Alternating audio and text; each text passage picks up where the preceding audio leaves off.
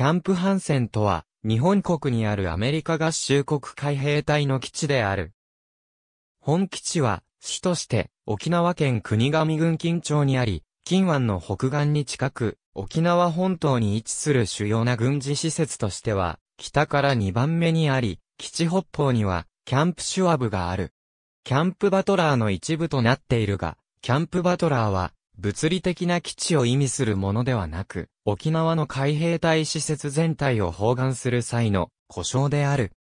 本基地は沖縄戦で戦死し、名誉勲章に除されたデール・マーリン・ハンセン海兵隊二等兵にちなんで命名された。第31海兵遠征隊の米国海兵隊科学生物放射性核防衛チームが2014年7月30日沖縄のキャンプハンセンで訓練演習を実施。本基地はキャンプシュワブと共に中部訓練区域の中核にあたり、いくつかの射撃場や実弾射撃訓練のための一連の建物や、その他の訓練区域を含み、沖縄本島で実弾射撃が許されている数少ない場所である。また、キャンプハンセンは、軍刑務所もあり、極東周辺の軍関係者を短期間監禁するための施設となっている。本基地を上空からの写真で見ると平地に5番の目上に建物が整然と立つ東側の平野部と西側の丘陵地帯からなっていることに気づく。前者が国道329号沿いの近町の市街地に面したキャンプ地区であり、後者はキャンプ地区北西側の女村から名護市、宜野座村に至っており、訓練地区と呼ばれている。名護市と基地によれば、訓練場は、下 1A1C、2A2g、3A3F、5A5F に細分されている。3C、3F 及び4地区を除いた地区では、実弾射撃は行わず、一般演習場として、部隊訓練あるいは戦術訓練が行われるという。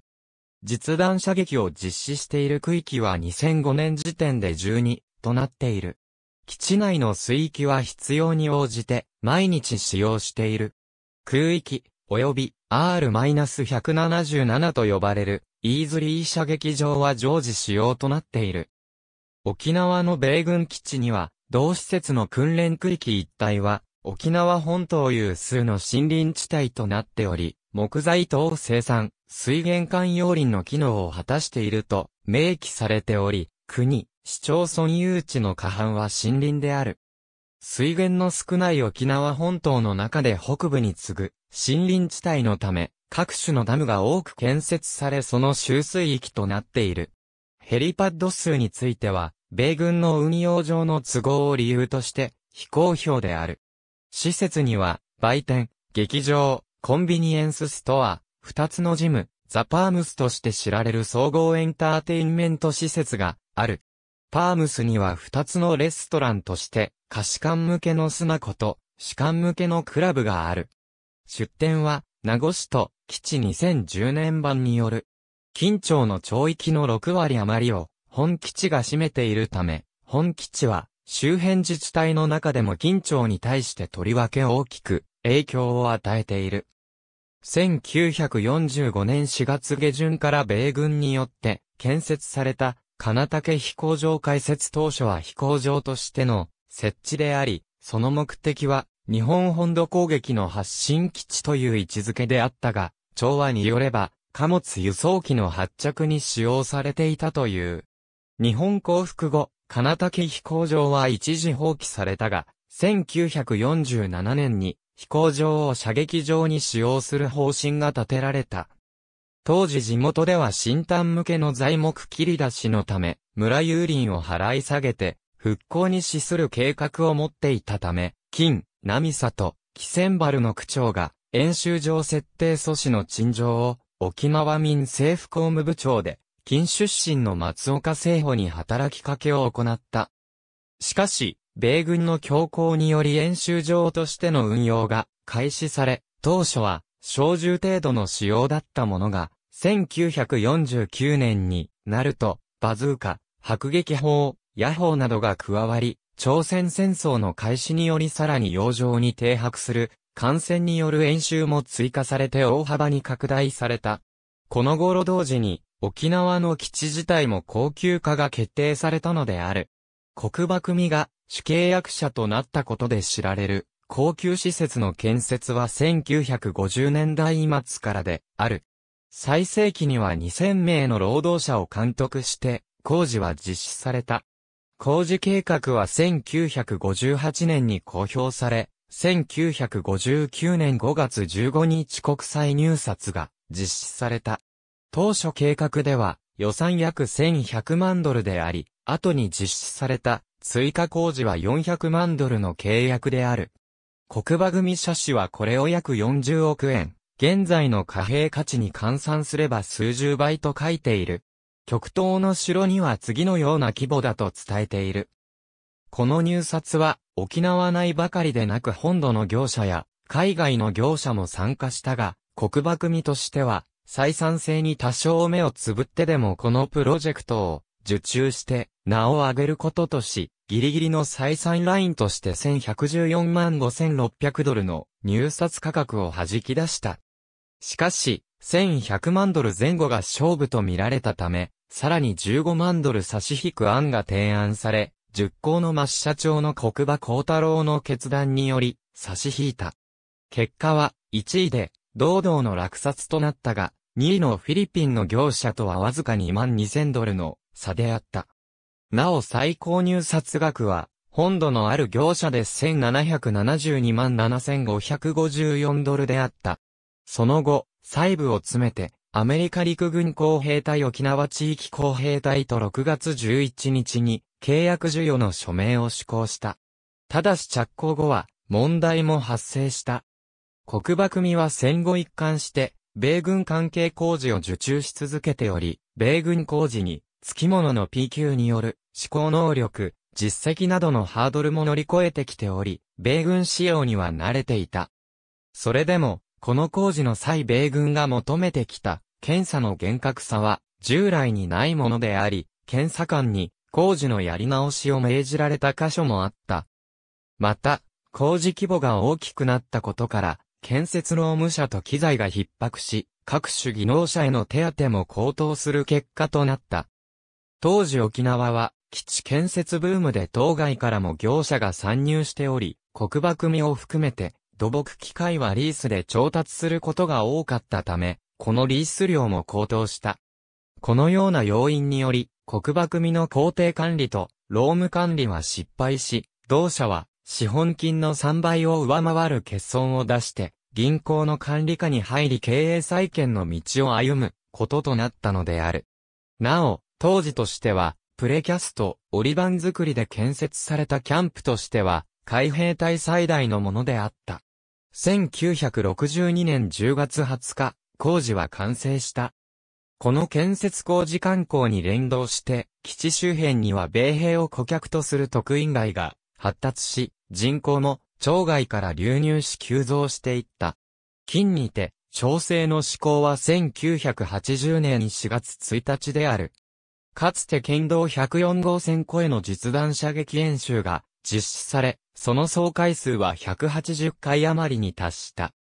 これは、復帰以降に開始された野砲による砲撃訓練であり、第1回は1973年3月30日に実施、1973年4月24日に実施した第2回より、剣道封鎖が実施された。1996年、SACO での日米合意によって、演習の移転が決定された。キャンプハンセンムート演習基地の豊富な沖縄にあっても、米軍基地に欠落する機能は存在した。その一つが、都市環境を模した戦闘訓練施設であった。この問題を解消するため1990年3月、宜野座村福山区付近戦闘訓練村が完成した。これは、西太平洋で海兵隊が保有する唯一の施設である。完成当初の施設は、教会、小学校、レストラン、銀行、2階建てアパート2棟の計6棟からなり、近傍にヘリパッドがある。村に通じる道路は2本である。人質救出、全面侵攻など様々な戦術状況を想定した訓練が実施されている。建設業者にとって異質だったのは、各建物によじ登ったり、懸垂降下できるように引っ掛けが設けられたことであり、窓の大きさは異なるものばかりであることだった。こうした工夫は、海兵隊員に想定外の状況での行動を可能とするように設計された。しかし、この時の訓練施設建設に対しては地元より激しい反発があった。特に反発が激しかったのは、女村に建設された施設で、ドーソンは当時すでにリゾート地として開発が進んでいたことも理由となっている。建設資材搬入の再建計は、機動隊を投入して護衛を図ったほどのものであった。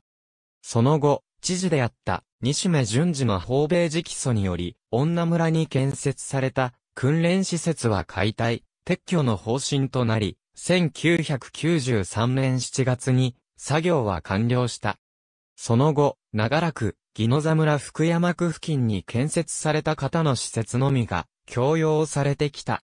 2000年の選挙で、ジョージ・ W・ ブッシュが大統領になると米4軍は、地球規模で米軍再編を開始し、本基地にも、その影響が現れている部分がある。陸軍複合射撃場海兵隊の基地だが、アメリカ陸軍など、他の軍も訓練に使用している。2002年度予算において、新たな複合射撃場が建設されることが2001年12月21日、2002年9月21日から26日に、かけての新聞で相次いで報じられた。この施設は2005年に複合射撃訓練場として、レンジ4と呼ばれる区域に建設された。当時の政府答弁書によれば、従来レンジ16に設置していた訓練場が損耗し、移設を検討していた際、陸軍が本基地とキャンプシュワブで分散実施していた訓練を統合、効率化するため、レンジ4への新設計画が持ち上がったという。使用する部隊は特殊部隊軍第1大隊である。しかし、当該地は、異芸地区の住宅地から300メートル余りの場所にあり、地元から近すぎると批判が出されていた。このような地元からの抗議を受け、完成直前に、町村信孝外務大臣は、再移設の方針を明示し、移設に向けた動きが始まった。代替施設完成後、レンジ4の施設は、海兵隊へ移管する方針である旨が外務省より説明された。海兵隊移管後の取り扱いについては、米軍が実弾射撃訓練を行うことは想定されていない、との答弁がなされている。なお、レンジ16の代替施設が完成するまでは、レンジ4の施設を暫定使用することとされた。2005年に、この施設での訓練が開始された際には、日本の民主党も抗議の談話を出しており、明大は、ネクスト防衛庁長官、前原誠二である。この施設については代替施設の建設が進められ、2009年7月末に完成、沖縄防衛局より、近庁に報告された。レンジ4の訓練施設は、海兵隊に引き渡されたため、その後も、使用の再講義が行われている。複合射撃場の概要については別項参照のこと。陸上自衛隊の施設共同使用2006年4月には、在日米軍再編についての最終案がまとまり、陸上自衛隊も本基地を使用して訓練をすることが取り決めされた。この決定に対して、近町、宜野座村、女村の三町村の首長や議長らで作る、キャンプハンセンに関する三町村連絡協議会は、早々に反対を貫くことで合意し、地元近町議会は自衛隊の施設使用に反対する決議を出した。なお、この施設共同使用に先立ち、第一混成団が簡易手製爆弾の処理訓練を本基地内で実施していたと報じられ、県内の平和団体は、カンボジアでの平和維持活動で経験した地雷処理任務とは全く異なると懸念を表明した。2007年11月には、地元三町村の主張は容認へ転換の方向を表明した。2008年3月、陸上自衛隊は、本基地での訓練を開始した。新規施設の建設この再編に呼応して、各種訓練施設の拡大工事が進められた。工事は A、B、C の3地区に区分される。なお、陸軍向け施設の建設としては、レンジ3に、リペリング訓練施設なども建設されている。また、2010年4月には、新しい犬舎が完成し、軍用犬の管理に役立てられている。その他2010年9月29日には、普天間飛行場駐留のヘリ部隊と連携した負傷兵救出訓練を報道陣に公開し災害支援など、こうした訓練は地域住民を救うのに役立つと強調したという。2010年11月10日、第3海兵遠征軍第3海兵師団第7通信大隊のマイク・ジョンソン注意を傷んで、ケリーホールにある会議室に注意の名が命名された。基地内には他の大型の米軍基地と同様にメリーランド大学の分校が基地内大学として開校している。本基地に関係する周辺対策事業は、他の自衛隊、在日米軍施設同様、防衛施設周辺の生活環境の整備等に関する法律を根拠法とし、旧防衛施設庁の主導により、下記が実施されてきた。一般的に周辺対策事業は下記のように区分され、その他にも名目をつけて予算措置がなされることがある。基地周辺対策の実施対象自治体は、近町多上記4市町村である。障害防止対策事業のうち一般障害防止については、演習場運用に伴い、敷地が荒廃することに起因した、保水力の低下、土砂流出、洪水被害などがあり、その対策として、河川改修工事、排水改修工事、砂防園庭建設工事などの助成があり、1972年度から1998年度末時点まで、宜野座村、女村へ約174億の助成を実施している。砂防ダムについては、赤土流出による周辺海域の汚濁防止の観点から重視されてきた。万本博士明によれば1950年代から60年代の高級施設建設当時には特段の対策は取られなかったため、当時もかなりの赤土が流出したと考えられているが、定量的な記録は残っていない。その後1989年9月には、都市型戦闘訓練施設の建設に伴って赤土が流出し、近傍の車庫外養殖場にも被害が出た。砂防ダム建設は1977年度より事業が開始されており、1993年度より貯留型砂防ダムも建設が始められ、1996年度までに8機が完成した。総事業費は24億円である。その後も、砂防ダムの建設は継続されており、下全体では23機が計画されている。下を対象にした赤土流出をまとめた研究も存在する。学校等の公共施設の騒音防止対策事業としては、航空機騒音の防止、軽減対策としては迫撃砲の実弾射撃、ヘリボーン訓練などによる騒音が存在する。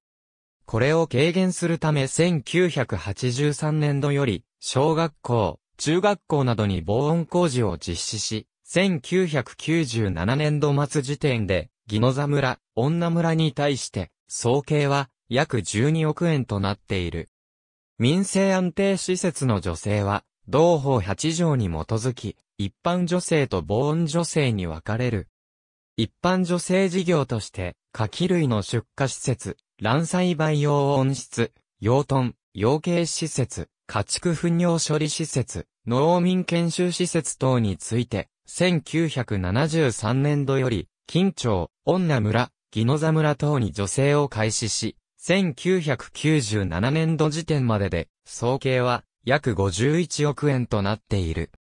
防音女性については学習等教養施設施設、博物館、庁舎等について1983年度から1997年度までの累計で約3億円の補助が実施されている。他に、道路改修事業として、近町、女村、宜野座村の松村道を対象に、1972年度から1997年度までで、約18億円の補助金が交付され、演習場への侵入路なども、工事費の費目にて整備を図り同期間で総計約8億円となっている。同法9条に基づき、特定防衛施設周辺整備調整交付金を特定防衛施設関連市町村に指定されている4市町村に対して交付している。1975年度の開始から1997年度までで、総計約85億となっている。首都はこれも、道路、排水路、死尿処理施設、火葬場などの公共施設の用地購入、整備である。上記とは別に、普天間飛行場をはじめとする沖縄米軍基地問題の全国的な注目によって、1997年度より沖縄米軍基地所在市町村に関する懇談会が設置され、緊張も参加している。島田コンは内閣官房長官に事業の提案を行い予算化される。国側の窓口機関としては当初防衛施設庁那覇防衛施設局が一部を担当している。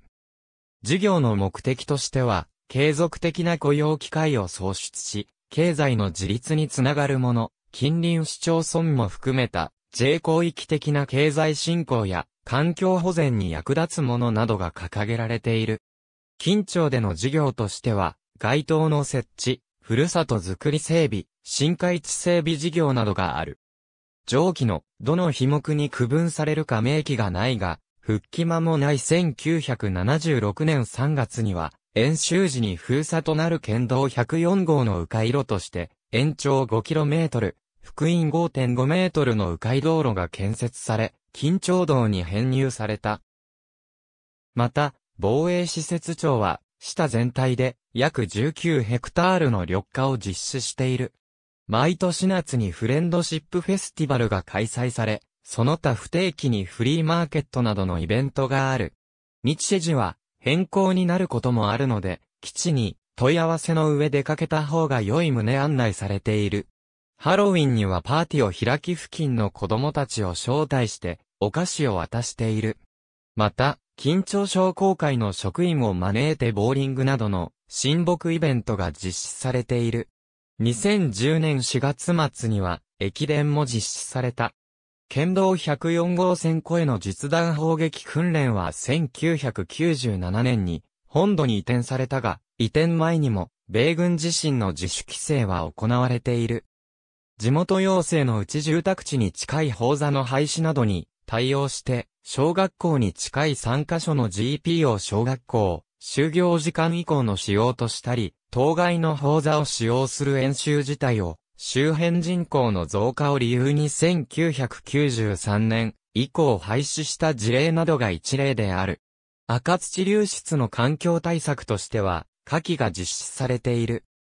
建設工事の実施にあたっては、日本環境管理基準を遵守し、沖縄県赤土等流出防止条例を考慮建設業者に対し、赤土流出防止計画の提出を、義務の利面を安定させるため植栽を、実施赤土流出防止策及び防水シートを使用して、工事を実施なお、流出量については2001年の実績値で、県全体30万トンの内米軍基地全体で2万3000トンとなっている。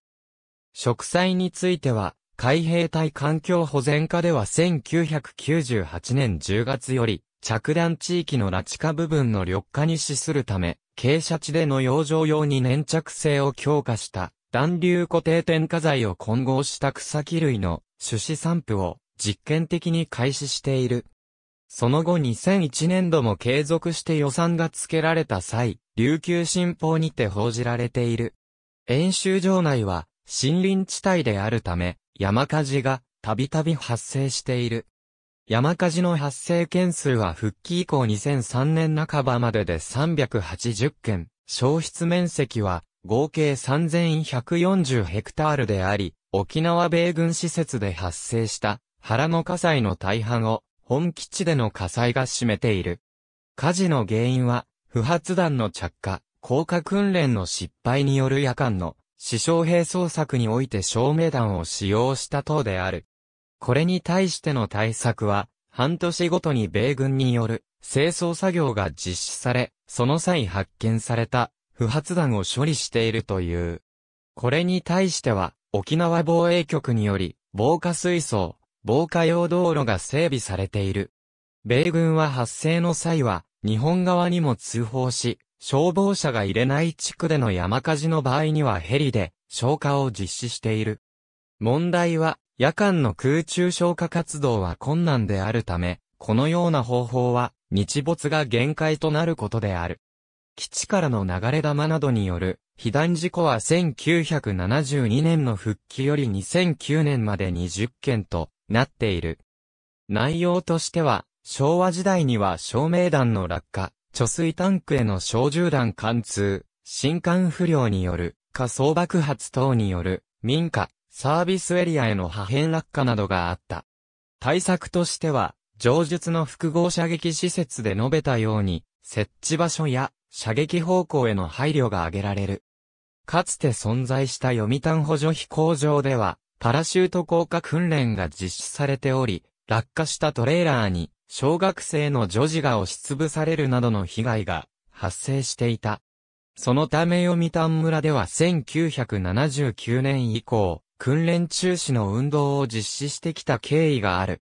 この訓練は1995年7月の日米合同委員会報告にて、キャンプハンセン境界線上のギノザダムに移転されることが決定した。その後、1999年10月の日米合同委員会報告では、家島補助飛行場への移転が決定された。また、同飛行場内に設置されていたソベ通信所についても、ドーソンは撤去を求めたため、代替施設が本基地敷地内に建設が検討され、2000年9月に移転の見通しが立ち、移転工事が実施された後2006年12月に、同通信所は日本側に返還された。2013年8月5日、嘉手納基地所属の救難ヘリ HH-60 が、キャンプハンセン内にある水源地、大川ダムのすぐそばで墜落し、取水制限が続いた。米軍は立ち入り調査認めず、翌年、米海兵隊太平洋基地環境課は、墜落地点の土壌調査で、環境基準値の74倍の鉛や21倍のヒ素を検出したと発表したが、大川ダムの水は安全だと宣言した。ありがとうございます。